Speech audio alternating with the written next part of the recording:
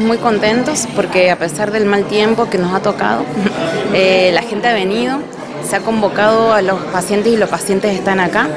Eh, así que estamos muy contentos porque ya estamos trabajando, ya los estamos atendiendo eh, y, la dinámica de lo programado se está llevando a cabo bastante bien. ¿Cuánto dura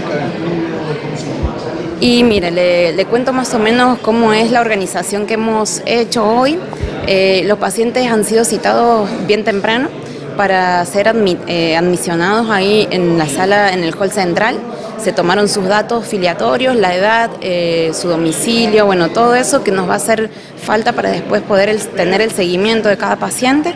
Posterior a eso se les, dio, se les hizo una atención de enfermería con control de signos vitales, peso, talla, presión arterial y se les realizó un electrocardiograma eh, y posterior a eso, los pacientes mayores se les ha tomado, y en general son todos mayores a 50 años los que han venido, eh, con antecedentes previos de hipertensión y diabetes, justamente se convocó a ese grupo de, pacientes para, por lo que justamente había eh, mencionado el doctor de la salud renal.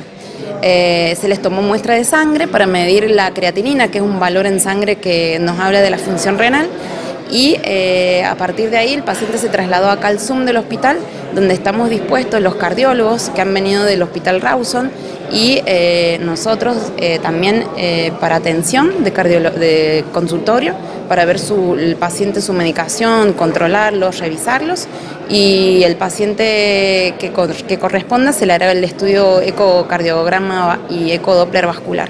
¿Solamente si lo necesita se hace? La mayoría lo va a tener.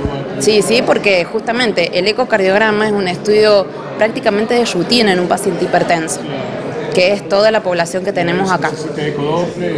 Es un ecocardiograma, es un estudio de imágenes cardíacas, donde uno puede valorar al corazón desde el punto de vista estructural y funcional, y la verdad que es un estudio que está al alcance eh, hoy en día. Eh, justamente, eh, no es de complejidad, pero para nosotros acá en Hachal y justamente para nuestros pacientes, que tenemos muchos pacientes que están lejos de, la, de, acá del centro, eh, no está tan accesible. Entonces esta jornada sería eh, también con ese criterio, eh, siguiendo el lineamiento de nuestra Federación Argentina de Cardiología, que es federar, es descentralizar, llevar la ciencia al, a donde está el paciente.